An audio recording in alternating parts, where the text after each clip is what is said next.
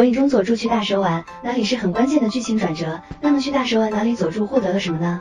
首先就是天之咒印，咒印对于一般的普通忍者提升有多大，相信不用我多说。毕竟当初仅凭一忍四人众就让木叶众忍者对于大蛇丸和三代的单挑无计可施，而且他们更是轻松打败了四代护卫队成员，由此可见咒印带来的实力提升。其次，既然进入了大蛇丸的巢穴，那么他的那一手蛇系忍术自然也是不得不学的。为什么呢？第一，强度提升是肯定有的，这一点红豆身上就能看出来。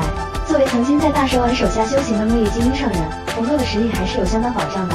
第二就是蛇系忍术的两大重要分支，核心的蛇替身，也就是类似于大蛇丸从自己身体里钻出来那种，以及通灵术都是相当实用的技能。再然后就来到了佐助自己的忍术开发上。我们知道，除了七血轮眼衍生出来的各大强力忍术外，它作用最多的就是当初在木叶所学会的雷遁了。在叛逃后的这几年，我们的二柱子不但把自己的千鸟开发到能够随意变化的地步，甚至还在此基础上开发出了麒麟。要知道这一招可是差点要了幽神性命的忍术。